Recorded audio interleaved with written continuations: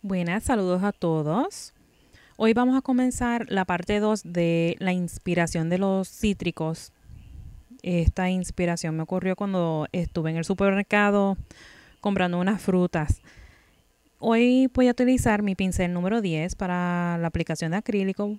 Estoy utilizando un color de tono de color piel. Y lo que estoy actualmente haciendo es elaborando la parte en la base de la uña primero y luego que yo tenga ese color ahí en la base voy a pasar a hacer la decoración que va a ser en el borde libre. Usted puede utilizar cualquier color que desee, no necesariamente tiene que ser el mismo color que estoy utilizando, pero sí me gusta que me quede de este color, como si fuese natural. Y así a la misma vez puedo alargar la base de la uña, como pueden ver en las otras.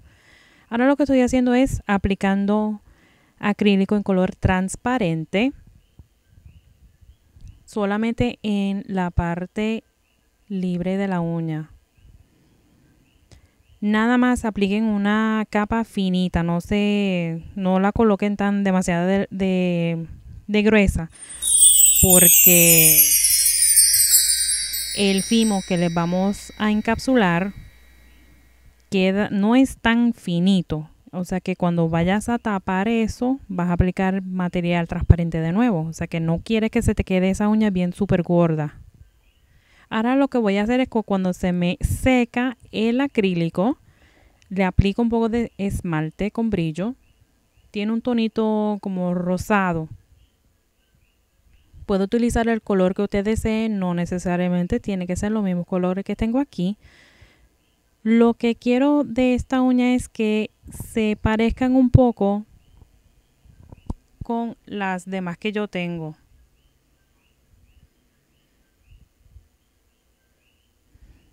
Estoy aplicando una segunda capa de el esmalte.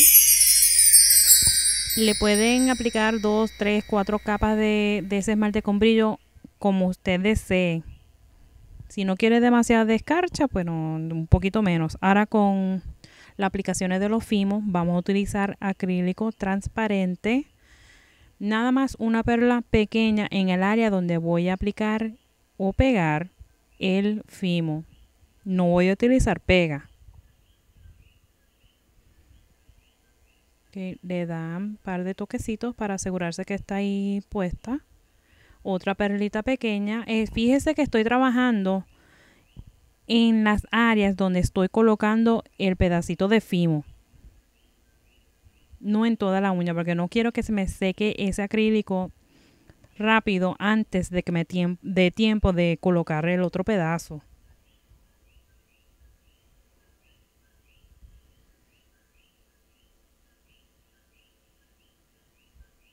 Ahora con el siguiente, con el color amarillo.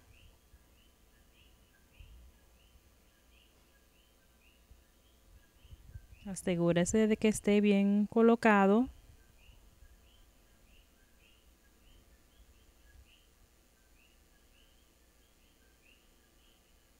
Y con el último pedazo que es el color anaranjado.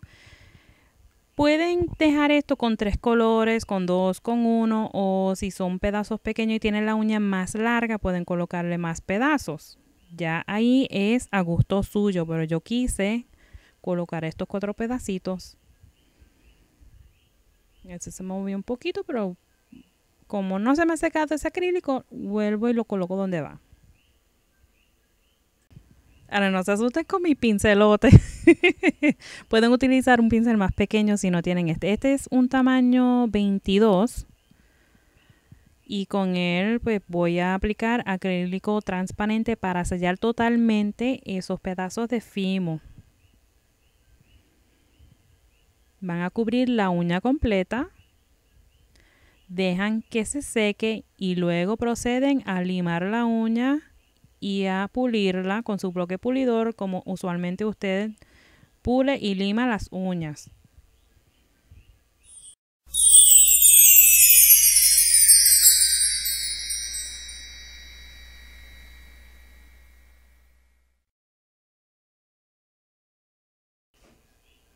Ahora procedemos a pintar nuestro diseño en la uña. La pueden dejar así como está o si prefieren hacerle un diseñito, pues aquí les demuestro cómo hacer uno fácil. Voy a, voy estoy haciendo unas margaritas en color amarillo. Lo que estoy utilizando es mi pincel número 1 y cargo mi pintura en un lado nada más. Y ahora con mi pincel número 1 voy a pintar par de hojas sencillas. Cargué mi pincel con dos colores verdes, uno más oscuro y el otro más clarito. No le voy a pintar el punto que va en el medio de la flor, porque lo que voy a colocar son unos, unas gemas en color fuchsia. Si usted prefiere, puede pintarle el punto en el medio a su flor.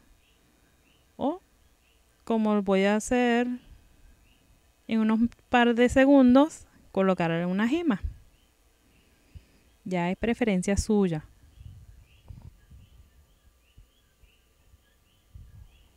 Aquí están las pequeñas gemas que les estaba mencionando.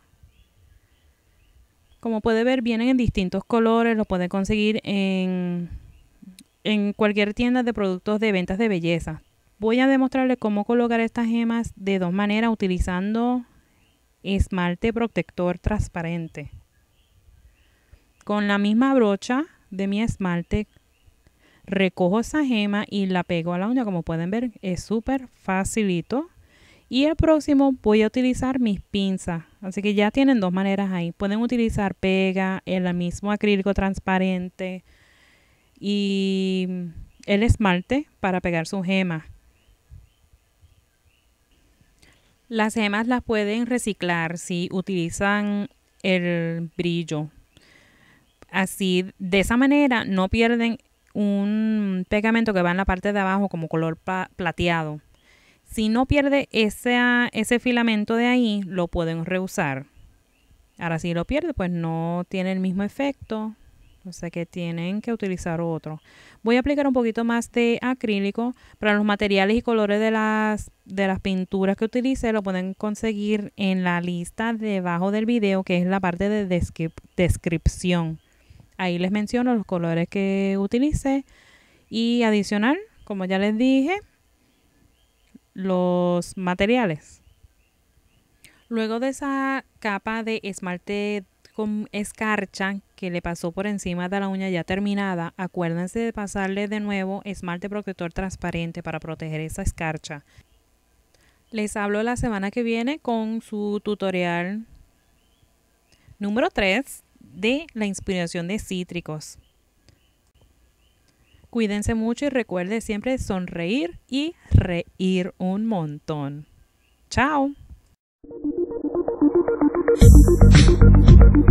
¡Suscríbete al!